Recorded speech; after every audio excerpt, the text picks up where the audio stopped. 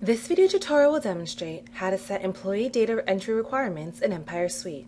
First, log into your account. Go to the Administration main menu. On the left-hand side menu, select Data Entry Requirements for Employees submenu under the Employee main menu. A Data Entry Requirements for Employees dialog box will appear. Data entry requirements for an employee are typically set up just once, but firm administrators can edit these specifications anytime.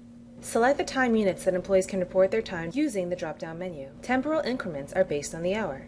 This time will show up in the employee's timesheet. Select whether or not employees must submit approved time in order using the drop-down menu.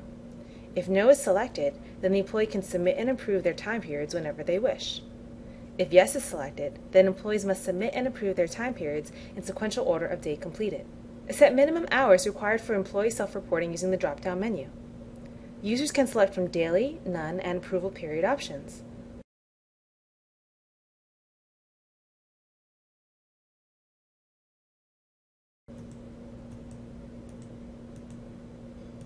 Users can select from daily, none, and approval period options. Having none minimum hours requirement means that employees can enter in any hours worked. Having daily minimum hours period means that employees must enter a minimum number of hours worked every day.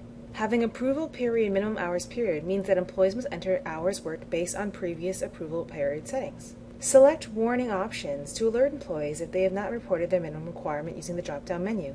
Employees have the option of receiving an error message or warning message if they have not reported their minimum requirement. Employees also have the option of not setting up any notification for missing minimum hours. Within the boundaries category, enable and specify exact number of roll forward or fall back days to define number of approval periods. There are three categories, fees and expenses approval period, daily expenses, and expense warning.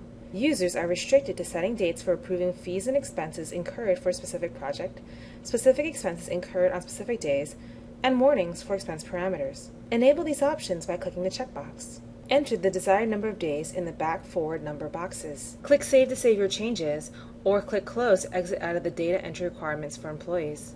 This concludes the tutorial on how to set employee data entry requirements in Empire Suite.